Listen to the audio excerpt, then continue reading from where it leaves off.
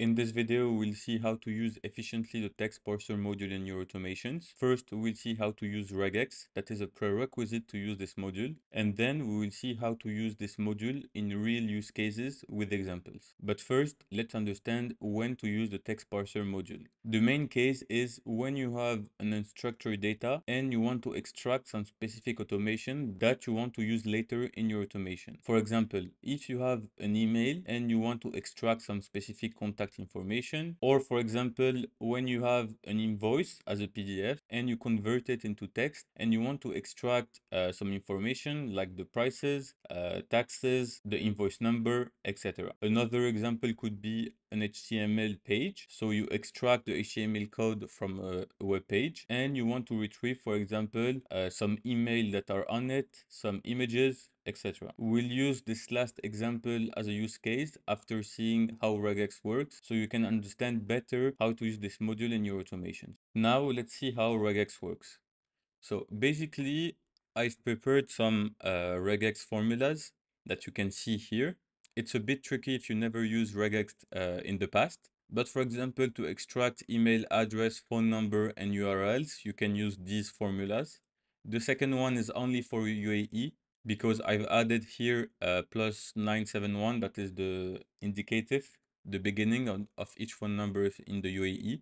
But if you want to generate regex formula for your own uh, cases, I recommend you to first learn the basics.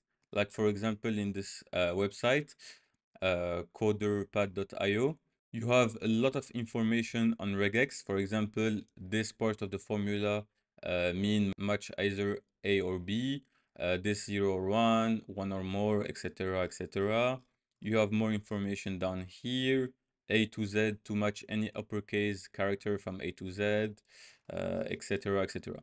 So if you understand this, you will have the basics. Then you have two options. Either you use uh, this regex generator. Personally, I don't use it. I prefer to use uh, the second option, that is AI. So you just ask to ChatGPT, Claude, Mistral, etc. You ask them uh, to generate a regex formula to find XXX. And then with your knowledge and uh, the basics of regex, you can adjust it uh, for your needs. Because most of the time, I've seen a lot of errors um, in the formulas that are generated by uh, AI.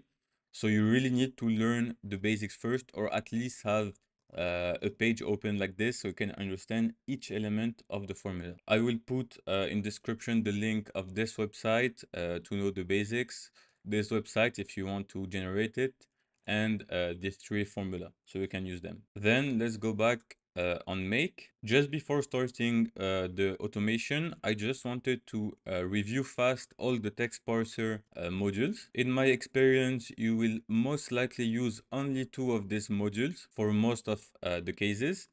Uh, you will use match pattern advanced and replace. I've never really used uh, any of these modules in the past, but we'll review them fastly. So the first one is get content from HTML table.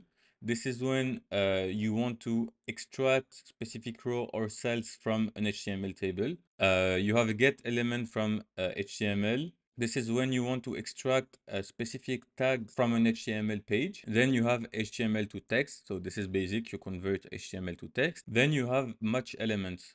So you might use this one. This is when you want to extract a specific type uh, of text in a structured data. For example, this could be uh, in a list, uh, in an array, uh, maybe in a table. I'm not sure uh, if you can extract from a table, but at least from a list or, or, an array, this is when you want to use this one. So in opposite of match pattern, uh, normal and advanced, where you want to retrieve text uh, from unstructured data, here you can retrieve it from structured data. Then you have match pattern and match pattern advanced. I always used match pattern advanced. I don't really find a big difference with this one. So I recommend you to use the advanced one and I will show you how to use it in a real automation uh, just now. So what I've done here is uh, I went on Google Maps and I just wrote barbershop.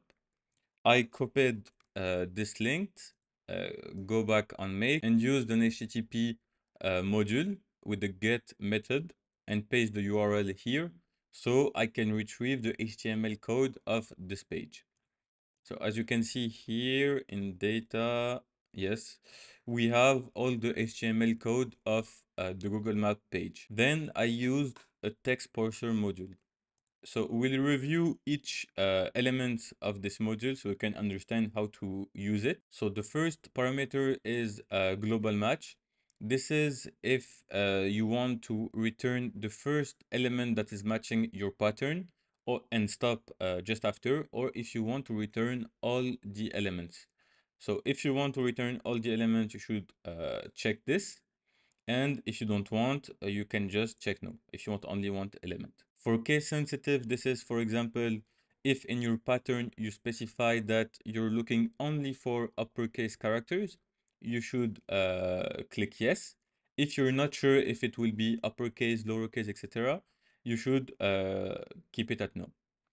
For these three um, parameters, you can keep it at no. If you're just looking for a specific pattern in a text, uh, just check uh, no. And you have the pattern and the text. So the text is basically here the data. As we've seen, this is the HTML uh, code of the page. And this is where you will enter your uh, regex pattern. Uh, so let's go back here. We'll select the URLs. Let's say we want to uh, grab the website link uh, of each barbershop. So we'll paste uh, this. Let's run this. And we should have, yeah, we have uh, some links but as you can see, this is a lot of uh, Google links. So we'll create uh, a filter just after this. So we can uh, filter this type of links. So let me just copy uh, this. So let's say we want to add it to a database just after. So you set up a filter, uh, links, condition. So default the fallback uh, does not contain we can select this one and click ok. Uh, what we have we have maps google. We can do the same thing. Uh, fallback match does not contain this. Uh, we can add this also. Uh, fallback match okay and with this process you will be able to filter all the google links and add it to a database. But for example, let's say uh, we wanted to extract uh, email addresses. So let's click on OK. What you could do after this is uh, select send a Gmail and you could send a Gmail to all uh, all the email of the barbershops. Uh, you could also extract uh, the phone numbers uh, here. Uh, let me delete this. And uh, in the pattern, you could click on OK and connect it uh, to Twilio, for example, send a message and you can create a personalized message to send to uh, these barbershops.